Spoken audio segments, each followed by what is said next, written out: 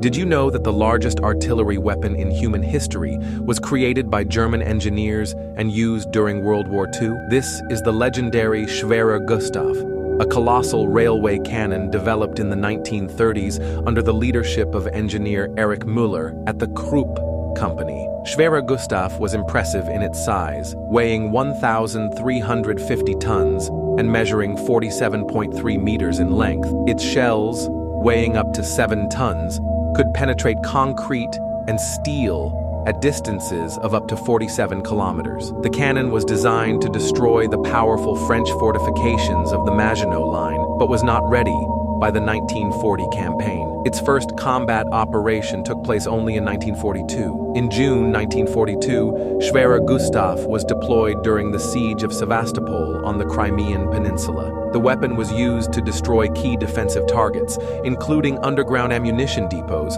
located about 30 meters below sea level. Preparing the cannon for firing required about 500 people and several weeks of work, making its use extremely complex and resource intensive. In addition to the main team of 500 people, a significant number of auxiliary personnel were involved in maintaining and protecting Schwerer Gustav. The total number of troops involved in its operation exceeded 4,000 people. To protect the cannon from air attacks, two anti-aircraft battalions equipped with 88mm and 20mm guns, totaling about 400 men, were deployed. Additionally, the cannon site included a field post office and even a mobile brothel for the personnel. Interestingly enough, the Krupp Company, which created the Schwerer Gustav, still exists today. Once known for its weaponry, it now manufactures entirely peaceful products. For instance, your coffee machine at home might very well be made by Krupp, a striking contrast left to us